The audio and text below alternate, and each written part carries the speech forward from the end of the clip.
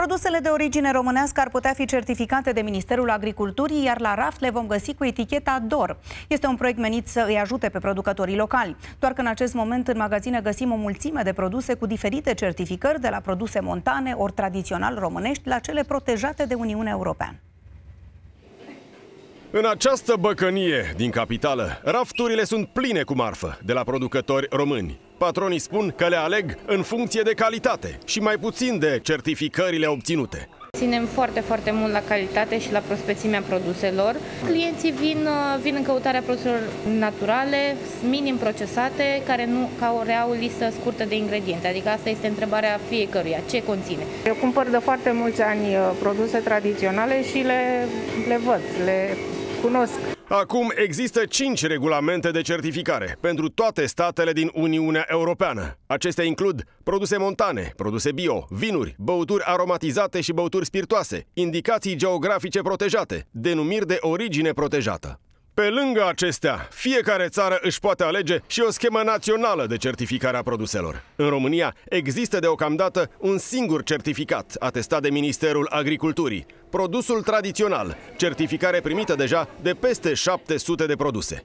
La ce vă uitați? Uh, păi, în primul rând, să fie cât mai multe produse naturale și cât mai puțin procesate sau, mă rog, să nu aibă foarte mulți conservanți. Dacă sunt în România, cu atât mai bine, că știm că sunt mai gustoase produsele noastre.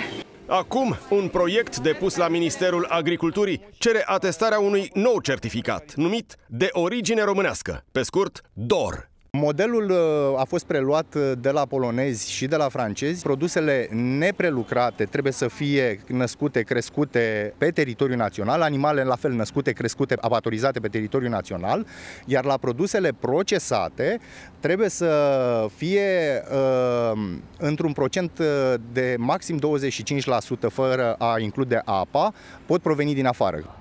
Certificările unui producător pot fi multiple. Marian Cuzdrioreanu, de exemplu, are o kerhana și vinde în același timp produse din pește, pentru care a primit de la Ministerul Agriculturii certificarea de produs tradițional românesc. Vrea însă să beneficieze și de certificatul DOR. Să nu uităm că dacă noi am fi prezenți și în comunitățile uh, românești din străinătate, nu numai din Uniunea Europeană, ar fi produsele românești atestate și recunoscute în raft de origine românească, produs tradițional românesc, ar fi cei mai delicioși și formidabili ambasadori al României.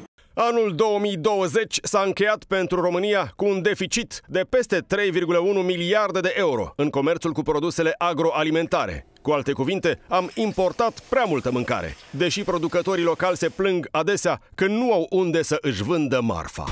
Urmărește cele mai tari show-uri integral pe ProTV+.